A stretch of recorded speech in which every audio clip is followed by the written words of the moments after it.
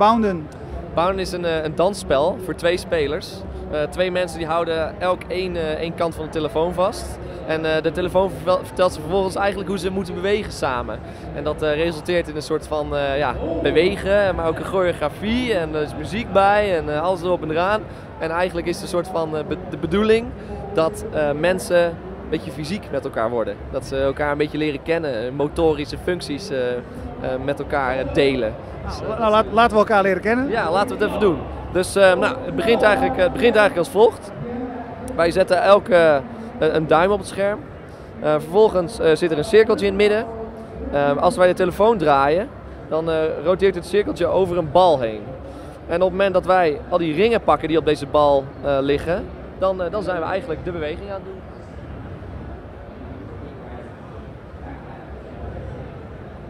Het cirkeltje in het midden heeft, is een soort van Pac-Man. En het mondje die moet um, gelijk uh, liggen met, het, uh, met het, het, gat, het, gat in het cirkeltje. Dus uh, nou, dat is dan een, een extra dimensie waarin ik dan weer meer controle heb op de manier waarop mensen spelen. Ja. Dus, um, dus ja, dat is eigenlijk de basis van het spel. Dit is één van de acht dansen. In totaal zitten er dus acht dansen in. En vier van die dansen die zijn gemaakt door het Nationaal Ballet. Dus uh, op het moment dat je die gaat doen, dan wordt het ook heel belangrijk dat het, uh, dat het een choreografie is. En dat je de bewegingen oefent. En dat je de, op de, precies op de muziek uh, danst. dat is toch wel even een volgend niveau. Maar in principe kan het spel je dat dus leren. Ja. Hey, en, en, en, waarom zijn jullie dat gaan doen? En waarom wil het, het, het, het Dutch Nationaal Ballet daar aan meewerken? Nou ja, waar, dus er zijn eigenlijk twee vragen. Uh, in de eerste instantie ben ik zelf heel erg geïnteresseerd in sociale interactie. En ik denk dat, dat spelletjes uh, ja, uitermate geschikt zijn om, om dat bij mensen naar boven te brengen. Met elkaar spelen. Dat is een super leuke sociale bezigheid. Dat, dat, dat, kan het in ieder geval heel erg zijn. dus dat is eigenlijk voor mij misschien de achterliggende gedachte om dit soort rare spelletjes te maken waarin mensen echt elkaar weer leren kennen of elkaars vriendschap weer even leren of zien of zo. Um, dus dat in eerste instantie. Waarom het Nationaal Ballet hiermee wil helpen, is waarschijnlijk omdat zij uh, natuurlijk een behoorlijk traditionele, behoorlijk conservatieve uh, sport uitoefenen. Um, en dit is voor hun eigenlijk een van de weinige manieren om eens een keer een uitstapje te doen. Ik, ik kwam naar hun toe met dit idee van, nou, ik uh, kan op deze manier mensen aansturen. Lijkt jullie leuk om hier aan mee te werken?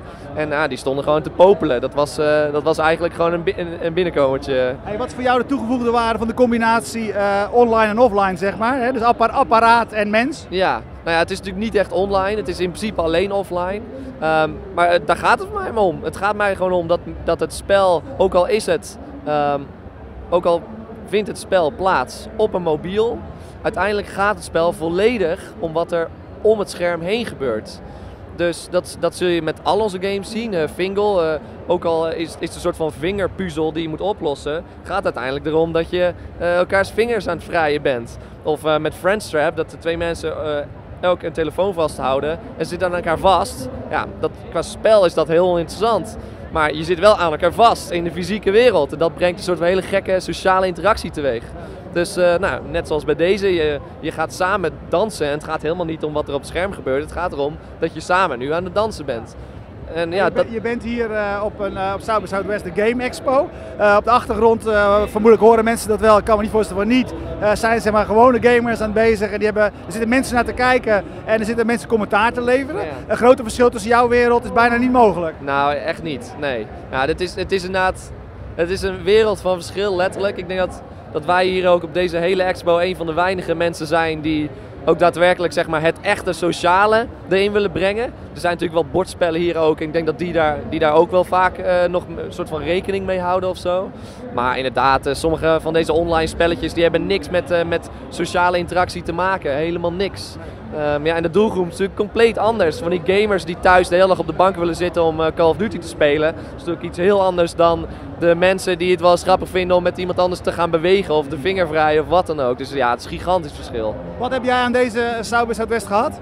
Nou, het is, het is voor mij de eerste keer South Southwest. Dus het is heel erg aftasten voor mij. Um, ik denk dat wat ik het meest eraan heb gehad is dat ik vooral weer um, heel, heel veel mensen heb kunnen laten spelen. Ik heb weer toch weer wat dingen geleerd over mijn eigen spel. Na een jaar, een jaar na release vind ik dat toch wel heel bijzonder. Ehm, af en toe dan speel ik, iets, speel ik met mensen die, het, die, het eigenlijk, ja, die bijna natuurtalenten zijn. Dat is enorm inspirerend. Dan kan ook ik weer even ervaren hoe het ook weer is om, om, ja, om echt even in die flow te raken, om met mensen te dansen. Ehm, dus ja, het is, ik denk dat ik ga er niet heel erg veel aan verdienen, direct. Um, maar het geeft me wel weer een gevoel van ja, ik weet wel waarom ik het doe. En uh, bij sommige mensen werkt het enorm goed. En ja, dat, dat, daarvoor ben ik hier misschien het meeste. Daarnaast um, zijn er heel veel dingen om, om heel South to Southwest heen. Uh, er is een soort van local scene hier die uh, heel erg leuk is. er zijn heel veel leuke creatieve dingen aan de hand tijdens South to Southwest. En dat, dat is eigenlijk voor mij hetgene wat ik het meeste uit South to Southwest haal.